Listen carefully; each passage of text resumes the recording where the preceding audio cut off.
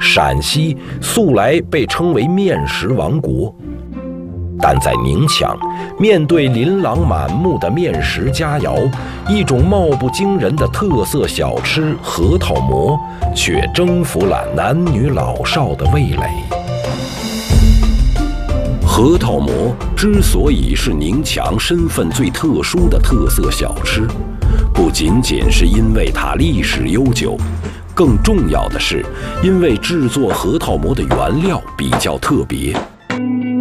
制作核桃馍的核桃必须选用宁强本地特产的核桃，因为这种核桃果仁饱满、油脂丰厚，做出来的核桃馍色泽金黄、味道浓郁，入口更加酥脆可口。青木川是宁强的旅游重镇。回龙场老街上售卖核桃馍的小店，总要赶在天亮前制作出足量的成品。当地人则会赶在游客到来前率先购买新鲜出炉的美味。走出青木川，在闹市一角仍然可以看到极为珍贵的传统核桃馍制作工具。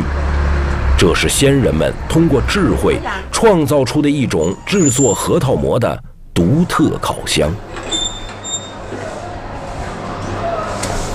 锅盖上的凹槽用于盛放木炭，所以要配合吊把使用。锅底和锅盖同时烧起熊熊的炭火，苦涩的薄皮在均匀的高温下迅速失去水分。然后在反复的翻炒与揉搓下，同香甜的果仁分离。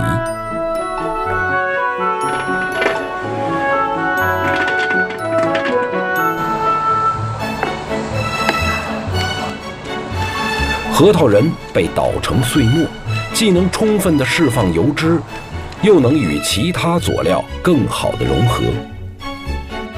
而果仁的质量与数量直接决定了酱料的口感，核桃馍这一陕南名吃的精华便蕴藏在其中。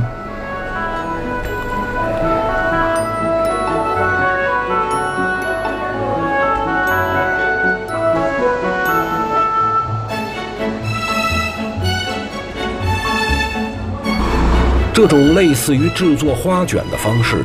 保证了果仁可以深藏馍腹之中，入锅前再在馍面上涂抹一层酱料，核桃的清香与果仁的软硬程度便会在锅内的高温中形成不同的层次感。而对于高温的巧妙运用，正是核桃馍酥软皆宜、满口生香的秘诀所在。核桃馍在宁强早已成为独树一帜的饮食文化，这种不走商业化、不进行工业生产的选择，正是对这种文化的坚守和传承。